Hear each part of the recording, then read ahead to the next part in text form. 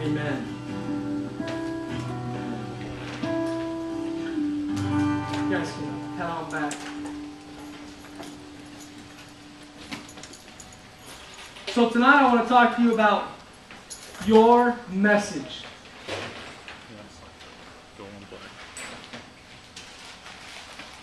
That's the that's the title tonight. Your message. What's your message? And I have a what? Thanks. Your message. I have candy up here by the way. So uh, your your message. Now I have 15 slides that we're not going to go to yet. But I have 15 slides of different icons, different things that as soon as you saw them, you would know what they're all about. Because they've just been ingrained in culture, they've been ingrained in you, and when you look at them, you're going to know what they are. So when we begin to go through these, we'll go through one at a time, and if you're the first person I hear shout out what it is, you get a piece of candy. Okay? All right, so I'll be throwing candy at you, but I'm going to throw it like a fastball at you, so you better catch. No, I'm just kidding. I won't do that. So your message. So this whole thing is, what is the message that you're sending? What is the message of your life? What is it that you are communicating? All right. Now, as we go into these slides, let's see what these slides communicate. Now, don't, don't hesitate. You can shout this out as soon as you see it or know it. Matt, let's go to that first one. Ah, who, I heard someone over here. It was me. I don't know. Five people raised their hands. Here's a couple. You guys can find out. Okay. Very good. Energizer. Everybody knows it's the Energizer Bunny. What's that picture saying? Keeps on going. It goes on and on and on and on. Yeah. These are great batteries. They last forever. All right. Obviously, it's com- it's not true, but yes, that's what it's communicating. Energizer bunnies. Just keeps on going. You guys got it, right? Get it? Get it with me? Okay. Let's go to the next one. Oh, oh, that was in unison. Candy for everybody. Candy for everybody. All right. That was good. That was good. That was good. All right. All right. Good, good, good, good. What is the message that Facebook's communicating? Social networking. Very good. Great. You get that. You're doing personal. That's good. Wow, it's complicated. All right, let's go to the next one.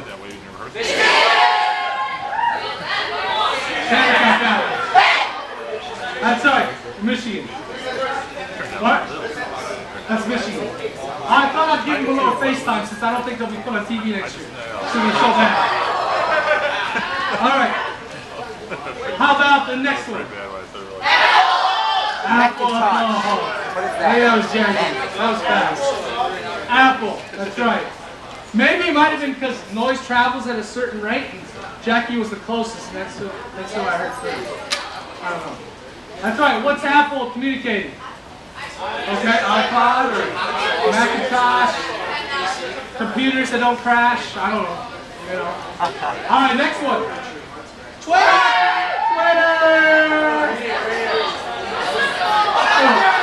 Sorry, Sierra. That meant to go to Chance, but you can keep it. You don't got to give it to us. All right, Twitter. Twitter. What's Twitter communicating? Social network. Good. Next one. Cigarettes. Right, right. We by no means does this ministry endorse any type of smoking or cigarettes or anything like that. But you guys know what it was, didn't you? Right away. What's the message it's communicating? Die. Smoke me, I'm good. You know, I don't know. Something like that. Okay? Next one. Oh, see, I don't even know who's more candy tea. That was good. Disney World. I mean, Chance has his hands up every one. It's like, oh, it was me! It was me! Every time. Disney World, that's right. What does Disney World communicate? Let's turn John down. Making dreams come true. I love it. I love it. Making dreams come true. You guys can find that. That's funny.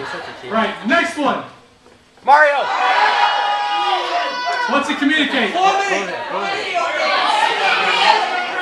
games, but specifically, what's it? Nintendo. Who said that? Man. Loaded.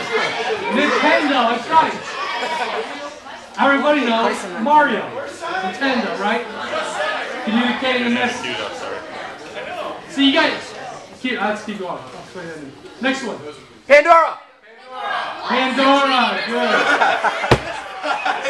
I'm not giving it to Derek.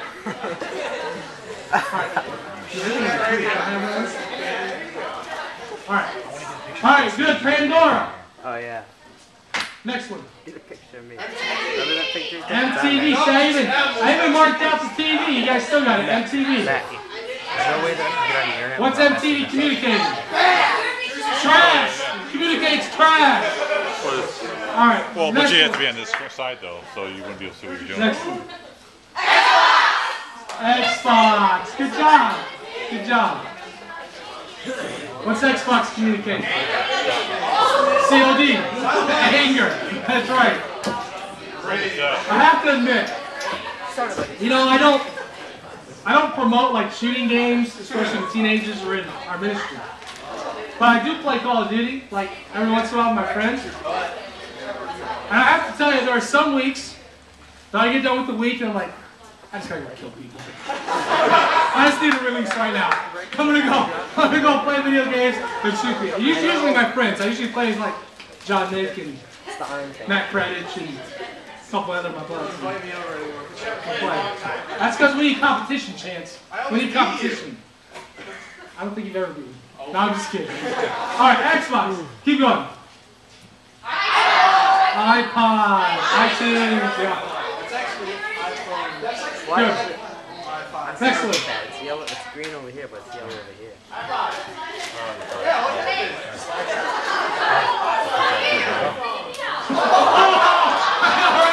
don't need to hit you in the face. Sorry. She got a little bruise right there. I'm sorry, Amy. I'm sorry.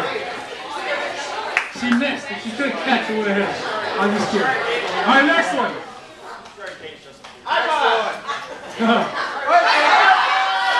Firefox. What's it communicate? Internet. Fast internet. Fast speed.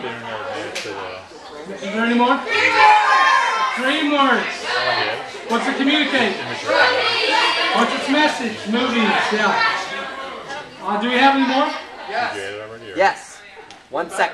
No. Galatians. The Bible. The Bible.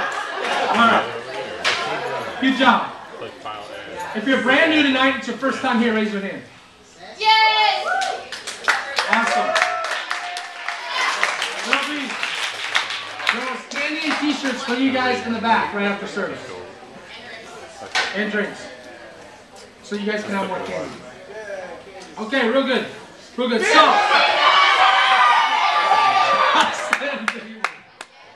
Yeah. You know what? His, uh, his family are, are Christians. I know he, he sings all about relationships, but family's Christian. Go Just- back here. how many have gone to see the new movie? Justin No, you haven't. Bad movie. Please, it. You know what? I'm actually, I'm actually contemplating going to see it. Only, not because I'm a fan. Oh, it is weird. That's why I'm explaining myself. Only because, only because it's gonna be, it, it's like a, it's just like a junior high phenomenon. And uh, yeah, I just think I should see it for culture's sake. yo. For culture's sake. Okay. Okay. Let's go on.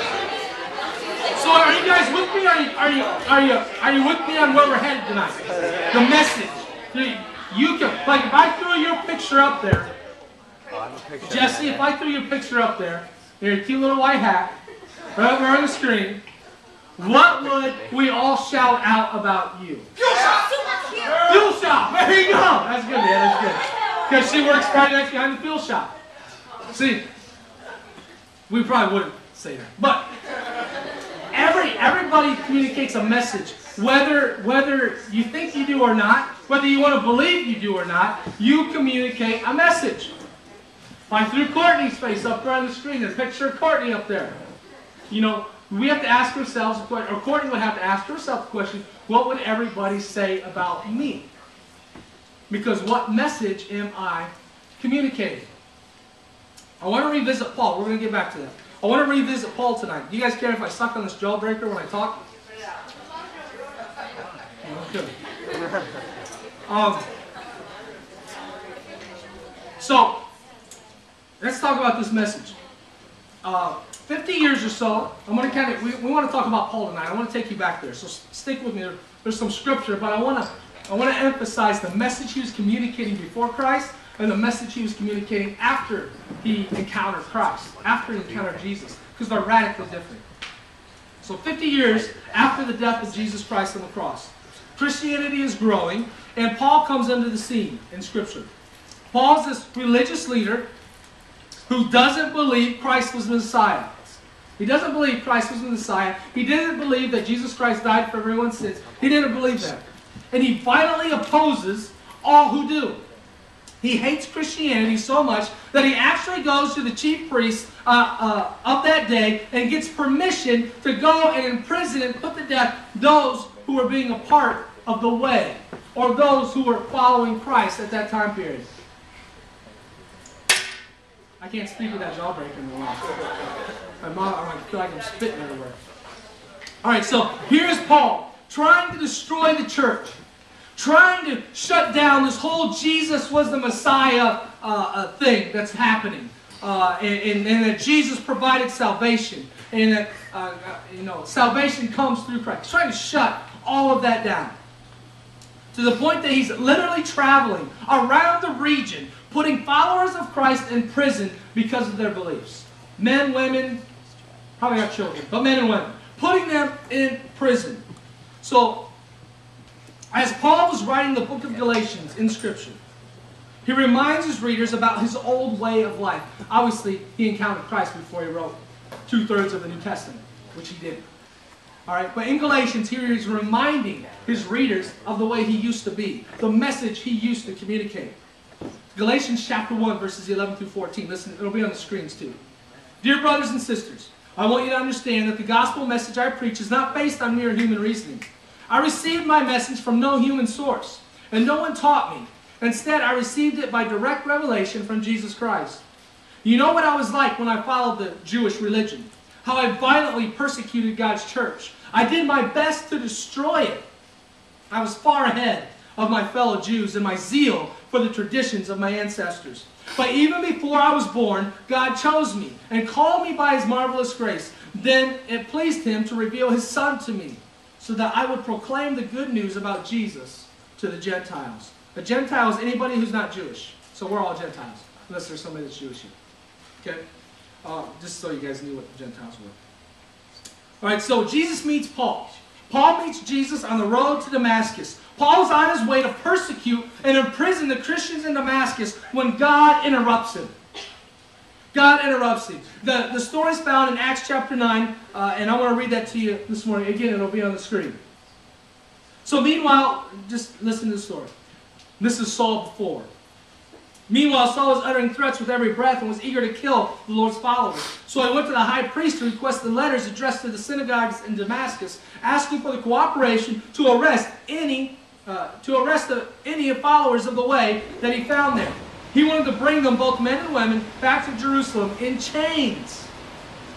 As he was approaching Damascus on this mission, a light from heaven suddenly shone down around him. He fell to the ground, heard a voice saying to him, Saul, Saul, why are you perse- persecuting me? Hit the lights from heaven.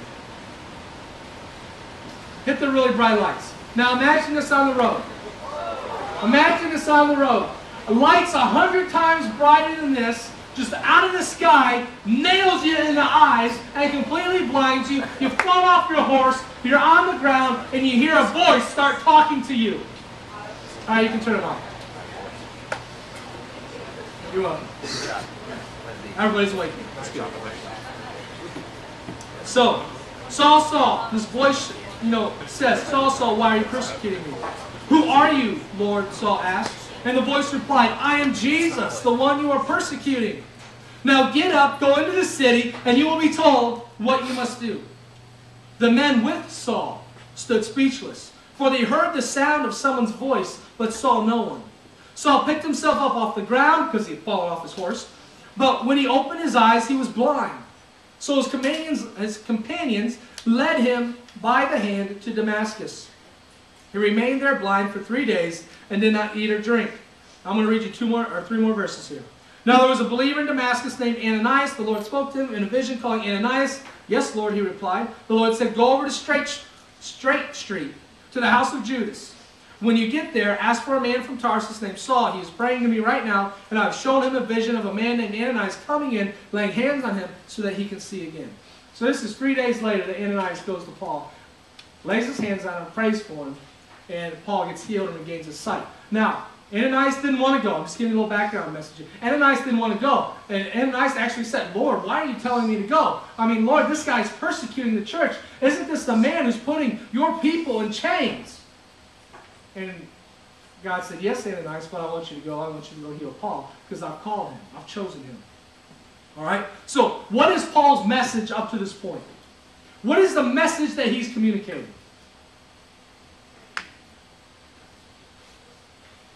Interaction, interaction, interaction. What? Death to Christians? Is that what somebody said? Yeah, yeah. He's trying to destroy the church.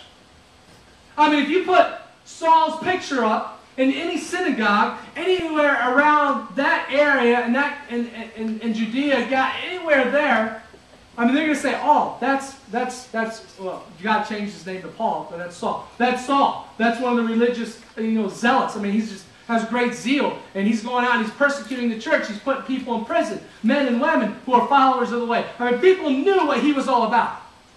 People knew his message.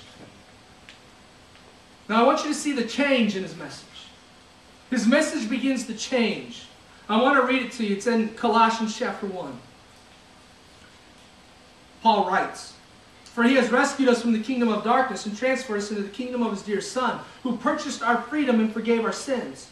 Christ is the visible, is the visible image of an invisible God. He existed before anything was created and supreme over all creation. For through him God created everything in the heavenly realms and on earth. He made the things we can uh, we can see and the things we can't see, such as thrones, kingdoms, rulers, authorities, and the unseen world. Everything that was created through him and for him. He existed before anything else, and he holds all creation together. Christ is also the head of the church, which is his body. He is the beginning, supreme over all, uh, supreme over all who rise from the dead. So he is first in everything. For God in all his fullness was pleased to live in Christ, and through him God reconciled. Sorry. Reconciled everything to himself. He made peace with everything in heaven and on earth by means of Christ's blood on the cross. This includes you, who were once far away from God. You were his enemies, separated from him by your evil thoughts and actions, yet now he has reconciled you to himself through the death of Christ in his physical body. As a result, he has brought you into his own presence, and you are holy and blameless as you stand before him without a single fault. But you must continue to believe this truth and stand firmly in it. Don't drift away from the assurance you received when you heard the good news. The good news has been preached all over the world, and I, Paul, have been appointed as God's servant to proclaim it. How has Paul's message changed? This is a guy that went from church to church, is what you'd say in those days, synagogue to synagogue, persecuting, putting in prison men and women, Christians, people like you and me, in chains and taking them to jail. How does this message change when you read that last passage of Scripture? What's he doing now? He's preaching the word, isn't he? He's telling you the truth. He's, he's teaching people how it is. He's writing to the, the church in Colossus. He's saying, guys, this is the Jesus that can transform you. This is the Jesus that has saved you. This Jesus that died on the cross and shed his blood. He did that for you. So that you could be rescued. So that you could be saved. So that you could be healed. His message is changing. And his message has completely changed. It's a great change in message. Paul was communicating and living his life. I mean, everything about Paul was kill, kill, kill, destroy the church, destroy the way, put them all in prison. Now he's given his life to spreading the gospel, to advancing the church, to sharing Christ with everyone, everywhere. Paul embraced his new identity as an ambassador for Christ. In fact, Paul became the greatest missionary that ever lived. The greatest missionary that ever lived. And as passionate followers of Christ, when we commit our lives to Jesus, we are communicating changes. When we commit our lives to Jesus, we are communicating changes in our life. The reasons we're living our lives, the way we are changed, our purposes in life, they change. The message that we are portraying, the message that we symbolize is changing when we commit our life to Christ. If you commit your life to Christ and nothing changes, then, then nothing ever happened. You might have said the words, but in your heart you didn't mean them nothing ever happened. See, when Christ comes in, there's transformation that begins to take place. Sure, sometimes it's a process. It's not like you're just radically different in, in, a, in a heartbeat. Sometimes it's a process. It's a learning process. It's learning to trust God. It's learning to know Him. It's learning to uh, of what is well, what God's heart is, what His desires are. There's this process that takes place. But yet there is a change in your message that begins from the moment you accept Jesus Christ. It starts. Your message begins to change. Let's talk about being an ambassador for a minute. The word ambassador, the, the, the definition of ambassador is a diplomatic official of the highest rank sent by a government to represent it on a temporary mission. That's an awesome definition. A diplomatic official of the highest rank sent by a government to represent it on a temporary mission. And guess what? We're all ambassadors. Think about that. We are a diplomatic official of heaven, of the highest rank, sent by the kingdom of heaven, sent by God to represent the kingdom of heaven, to represent Jesus Christ on a temporary, temporary mission. Read? Temporary mission. We are ambassadors. This life is temporary, isn't it? In fact, in the scope of eternity, this life's about this long. In the scope of it. This is a temporary mission. that we have been sent as ambassadors, just as Paul was sent. Our message is an ambassador type of message. We are representing, we are reflecting Jesus Christ to a world. We have been chosen. You have been set apart and been chosen to be a diplomatic official of the highest rank of the kingdom of heaven. That's you. You know when an ambassador goes from our country, they have the full authority of our president. When an ambassador goes from our country to another country to either negotiate or build relationship, they have full authority of our country on the president's behalf. They represent the United States of America, the most powerful nation in the world. They represent that to that country. They have full authority. Think about that. You represent the kingdom of heaven. You represent Jesus Christ. You have full authority. You have the authority of Jesus. You have access to all that Jesus has access to. You have access to the kingdom because God has called you to be an ambassador for him. Listen, listen to 2 Corinthians chapter 5, 19 to 21. That God was reconciling the world to himself in Christ, not counting God, uh, people's sins against them, and he was committed, uh, uh, and he has committed to us the message of reconciliation. We are therefore Christ's ambassadors, as though God were making his appeal through us. We implore you on Christ's behalf, be reconciled to God. God made him who had no sin to be sin for us, talking about Jesus, so that in him we might become the righteousness of God. Man, man, Paul comes right out here in Corinthians, 2 Corinthians, and man says, man, we are ambassadors of Christ. Ephesians chapter 6, verses 19 through 21. Pray also for me that whenever I speak, words may be given me, so that I will fiercely make known the mystery of the gospel, for which I am an ambassador in chains. Pray that I may declare it fearlessly as I should. Paul's in prison. He's in chains. He's been put in prison now. All, just like he was putting people in prison for the way, he's been put in prison now. He's in chains. And he says, Man, for which I am an ambassador in chains to make known the gospel of Jesus Christ. Man, this message has changed, hasn't it? See, Jesus is not a simple product that we add to our lives and we try to sell to others. It's not like this hair gel. It's not a product. You know, my wife always tries to get me to buy that, uh, uh, what's it called for men? Just for men. You know, because, you know, I get gray right here, starting to get gray hair. It's all that wisdom that's just oh, coming up out of me. You know, she tries to give me that just for men stuff all the time. But, you know, it's like a product. Jesus isn't this product that we can just purchase. Or this product that we can have that we just try to sell to others. We don't sprinkle ourselves with a little bit of Jesus dust to make everything taste better or go our way. We don't do that. I mean, He's God. And when we became a Christian, He becomes our King, period. When, he become, when we become a Christian, He becomes our King, period. And as an ambassador, your mission is to represent Christ. You stand for His kingdom while living in this one. Paul also said you're not of this world. You're of another world. All right? You don't belong to this world. You belong to a different kingdom. You belong to another world. All right? You, you are ambassadors. As an ambassador, your mission is to represent Christ. You speak for him. You love people on his, on his behalf. You show compassion and mercy in his name. You stand for truth and justice as his representative. God has given you a mission. Just as Jesus was sent into the world to rescue us, he has sent you into the world to rescue others. You have a mission.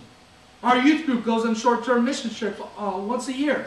You know, we go to different countries. Last year we went to uh, uh, Peru. This year we're going to El Salvador.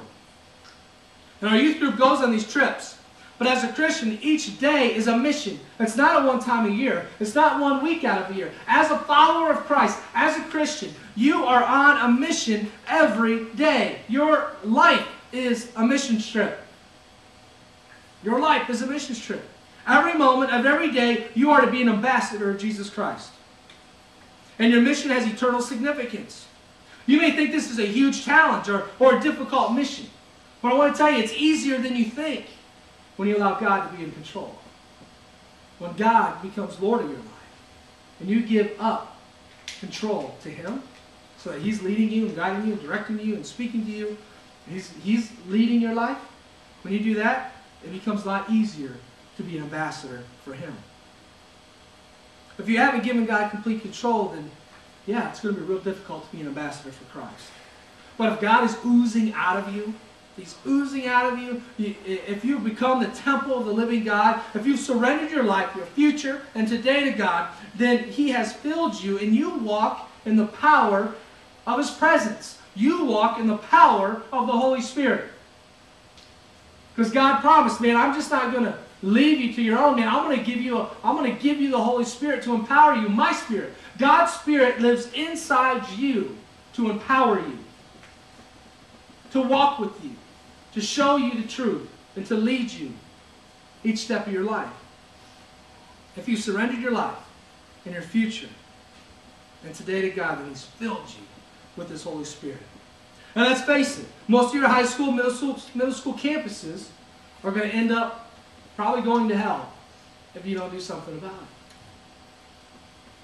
If your light does not shine, if we are not ambassadors of Christ, if we're not allowing God to ooze out of us and begin to influence those that God has given us, then He's going to have to depend on someone else to do that. I mean, man, that's a, that's a big responsibility. And I'm not saying you got to go win your entire school to God. And that'd be awesome. That's a great plan. But man, win your arena of influence. If you got four, if you're a young lady and you hang out with four young ladies, four other girls, and they're your close friends and you guys do everything together, that's your arena of influence. you begin to be an ambassador for Christ to them. If you're a young man and you got like three buds that you're just close with and you do everything with, man, that's your arena of influence. That's who you begin to witness to. That's who you are Christ-like to. Man, don't think of the entire school coming to Christ. That's overwhelming. Start with your group of friends and let it spread. Get them on fire for God. Let it spread. That's how it works. You know, I, I told you my own story. Most of you heard my story.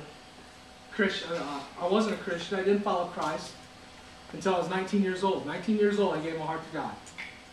What was the message of my life? The message of my life was do whatever makes you happy. Do whatever's fun. I mean, partying, drinking, whatever the case is. I mean, do whatever you want.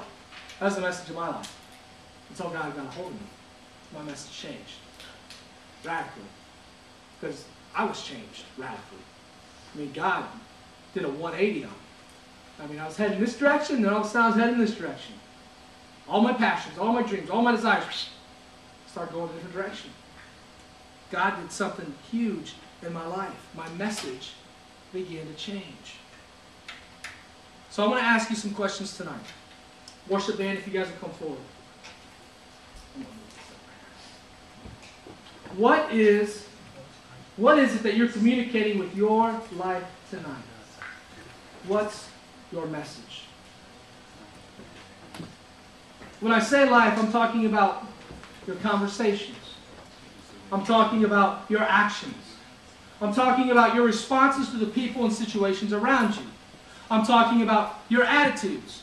What message are you communicating tonight, at this moment? To your friends, to your parents, to your teachers, to God. What is your message? What are you communicating? And remember, we're all communicating. We're all communicating a message, whether we want to say we are or not. We're all communicating something. So tonight the worship band is going to play. I've got a long roll of paper, and I'm going to roll all the way out to the front here.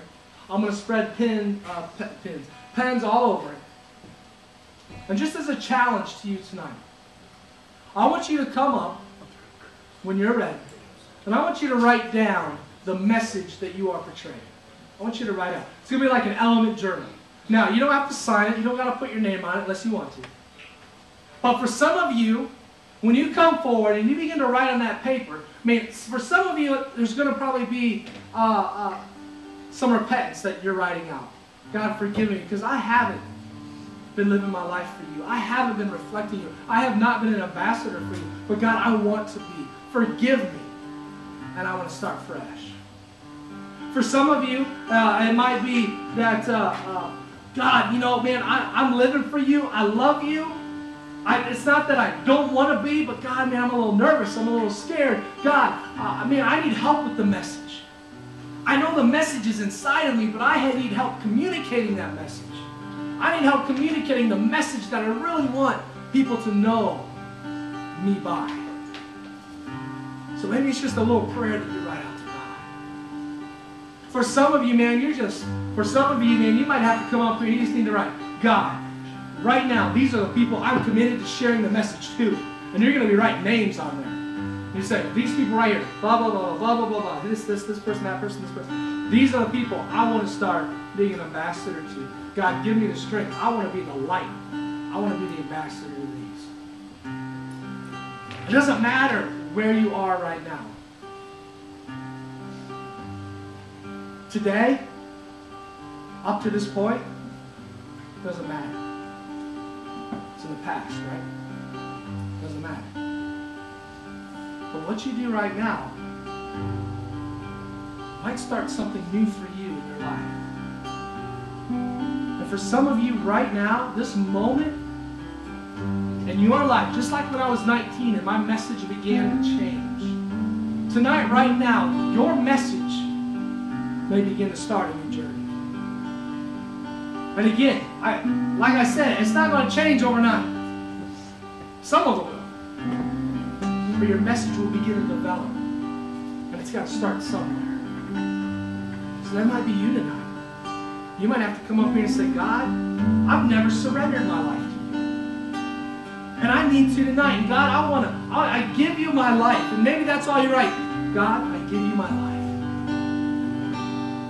And I want my message to begin to change. And I want my message to start over right now. Will you guys stand with me?